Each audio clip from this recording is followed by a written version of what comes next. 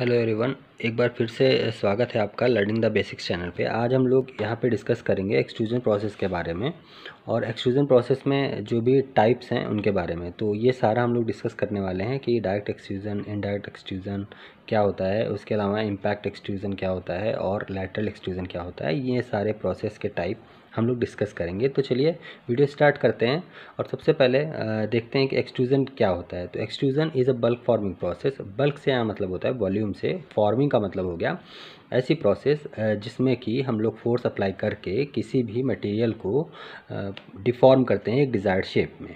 तो bulk forming process है जिसमें कि वर्क मटेरियल को फोर्स किया जाता है या कंप्रेस किया जाता है। फोर्स कैसा अप्लाई होगा? कंप्रेसिव फोर्स अप्लाई होगा।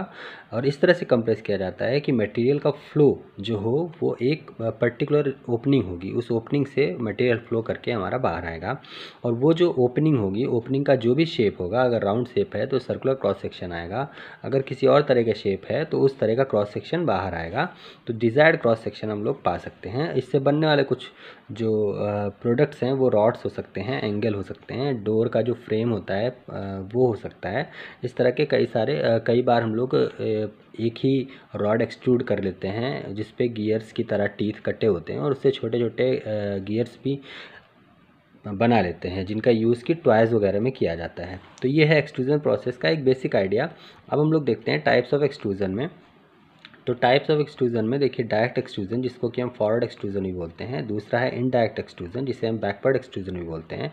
Third one is hydrostatic extrusion fourth one is impact extrusion. इसके अलावा भी एक्सट्रूजन हो सकता है, जैसे आप सुनेंगे लेटरल एक्सट्रूजन या फिर अगर टेम्परेचर के बेसिस पे बात करें तो हॉट एक्सट्रूजन कोल्ड एक्सट्रूजन ये सारे भी एक्सट्रूजन के टाइप हैं।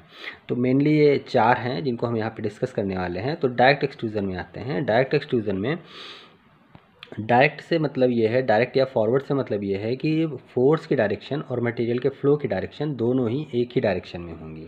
ठीक है? इस फिगर में आप ध्यान से देखिए, इस फिगर में देखने पे आप देखेंगे कि यहाँ पे ये प्रेसिंग स्टेम जो लिखा हुआ है, ये प्रेसिंग स्टेम इसको हम बोलते हैं प्लंजर या रैम भी बोलते हैं प्रेसिंग स्टेम को। इसके अलावा यहाँ पर देखिए डमी ब्लॉक लिखा हुआ है जो कि शो कर रहा है, ये दूसरा उसी सेम कलर का दिखा रहा है। यहाँ पर जो डमी ब्लॉक है, ये क्या है? रैम के आगे रैम से कम डायमीटर का एक ब्लॉक है। क्यों रैम से कम डायमीटर का ये मैं अभी एक्सप्लेन करता हूँ। ग्रीन कलर का जो मटेरियल है, ये आपका बिलेट है या फिर वर्क मटेरियल इसको कह लीजिए, जिसे हम बिलेट बोलते हैं। राइट बाहर यहाँ रेड कलर का ये जो दिख रहा है आपको, यहाँ पे लिखा हुआ है डाई है।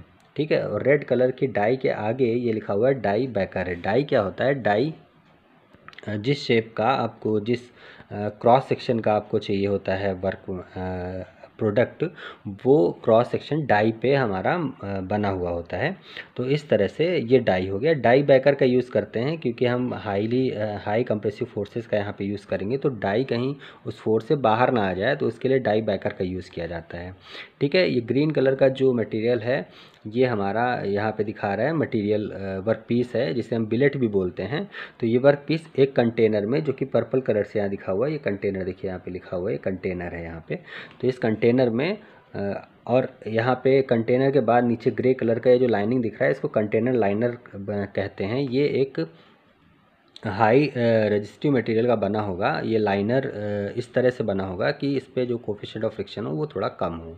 ठीक है? और हार्ड मटेरियल का होगा। हार्ड इसलिए क्योंकि इसमें जो है फ़्लो होना है मटेरियल का पूरा फ़्लो होना है जिसकी वजह से इस पर जो है हाई वियर हो सकता है। तो इसीलिए कंटेनर लाइनर बना दिया जाता है। देखिए डायरेक्ट कंटेनर का यूज़ कंटेनर की जो इनर वॉल है, उसको सेफ़ करने के लिए हम ये कंटेनर लाइनर बनाते हैं या प्रोवाइड करते हैं इस पर कंटेनर में। अब क्या करना है आपको? मटेरियल जो बिलेट है या जो भी रॉ मटेरियल है, उसको हम प्रेस करेंगे प्लंजर से। अच्छा जो भी मटेरियल अगर आप हॉट एक्सट्रूज़न का यूज़ करें तभी यहाँ पे इस डमी ब्लॉक का यूज़ करते हैं। क्योंकि हॉट जब मटेरियल होता है तो उस पर ऑक्साइड लेयर हो जाती है, जिसे हम स्केलिंग भी कहते हैं। वो ऑक्साइड लेयर कंटेनर लाइनर और वर्कपीस के बीच का जो कोफिशेंट ऑफ़ फ्रिक्शन है, उसको बढ़ा देता है, जिसकी वजह से हमें और ज़्यादा मतलब काफ़ी ज़्यादा फोर्स अप्लाई करना पड़ता है, जो कि बेफिजूल होता है एक तरह से। एक्स्ट्रा एफर्ट होता है एक तरह से। तो हमें वो अवॉइड करने के लिए हम क्या करते हैं डमी ब्लॉक को लगा देते हैं। हॉट एक्सट्रूजन प्रोसेस मतलब अगर डिक्रिस्टलाइजेशन टेम्परेचर से ऊपर और आपका मेल्टिंग पॉइंट से नीचे टेम्परेचर है आपके वर्क मटेरियल का, तब उस टाइम पे हम डमी ब्लॉक का यूज़ कर लेते हैं। इससे हमारा रैम भी सेफ़ रहता है और फ्रिक्शन थोड़ा सा कम हो जाता है। फ्रिक्शन क्या कम हो जाता है? एक्चुअल में जो ऑक्साइड लेयर है, जो कि कंटेनर से जुड़ी हुई होगी, वो मटेरियल के साथ बाहर नहीं आएगी। केवल वर्क मटेरियल ही बाहर आएगा या डिज़ायर्ड प्रोडक्ट ही बाहर आएगा ऑक्साइड लेयर बाहर नहीं आएगी, ठीक है? तो इस वजह से हम लोग इस डमी ब्लॉक का यूज़ करते हैं। कई जगह पे डमी ब्लॉक का यूज़ नहीं करते हैं, जैसे कोल्ड एक्सट्रूजन कर रहे होंगे अगर आप, यानी कि रिक्रिस्टलाइजेशन टेम्परेचर से नीचे और रूम टेम्परेचर से ऊपर के टेम्परेचर पर तब आपको इस डमी ब्लॉक की ज़रूरत नहीं पड़ेगी। अब देखिए, आपका फोर्स एप्लीकेशन की डायरेक्शन ये है और मटेरियल फ्लो का डायरेक्शन भी यही है, यानी कि दोनों की डायरेक्शन सेम है, इसीलिए हम इसको डायरेक्ट एक्सट्रूजन कहते हैं।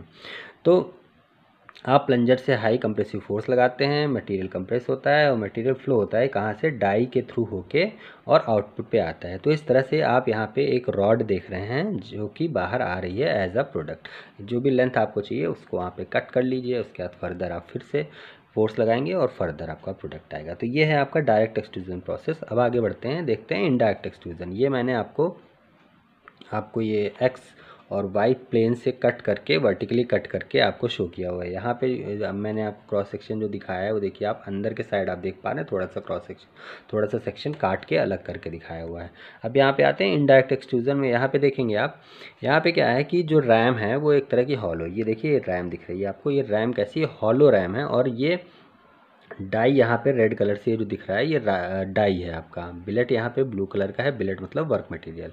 पीछे स्टील सीलिंग प्लेट लगाया हुआ है, वास्तव में कंटेनर ही समझ लीजिए आप, कंटेनर ही है ताकि पीछे आपका वर्क मटेरियल पीछे ना फ्लो कर जाए, है ना? वास्तव में पूरा कंटेनर ही रहता है, यहाँ पर इन्होंने सीलिंग प्लेट की तरह दिखाया हुआ है। अब आप क्या करेंगे? यहाँ पे भी सेम रैम से आप फोर्स लगाएँगे कैसा फोर्स कंप्रेसिव फोर्स लगाएँगे अप्लाई करेंगे। जब रैम से आप चूँकि रैम हॉलो है वा, वास्तव में क्या है पूरा पोर्शन कैसा है सर्कुलर टाइप है तो रैम से जब आप फोर्स लगाएँगे अप्लाई करेंगे तो डाई के थ्रू होते हुए ये बिलेट का मटेरियल इस तरफ़ इस तरह से बाहर के साइड में आएँगे। तो फोर्स अप्लीकेशन की डायरेक्शन आपका ये है लेकिन मटेरियल का फ्लो जो है जो आपका प्रोडक्ट आएगा वो अपोजिट डायरेक्शन में आएगा। चूँकि ये दोनों की डायरेक्शन अपोजिट है इसीलिए इसको इनडायरेक्ट एक्सट्रूजन या बैकवर्ड एक्सट्रूजन भी कहते हैं।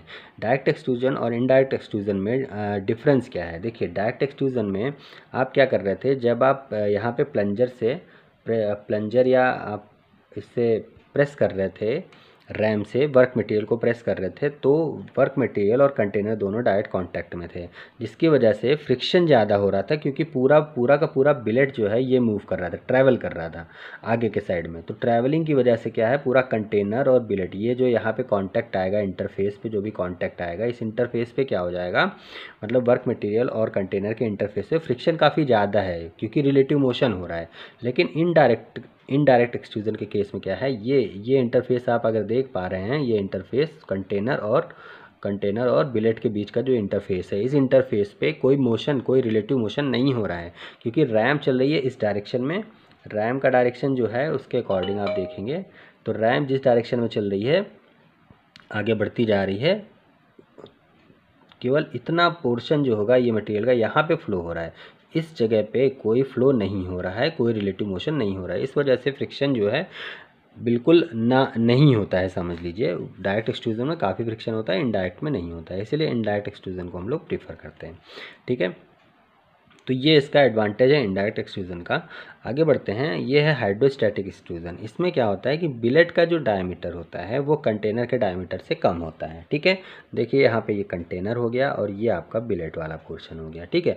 इसका डायमीटर कंटेनर का डायमीटर पूरा ये इतना है और बिलेट का डायमीटर सिर्फ़ इतना है, ठीक है?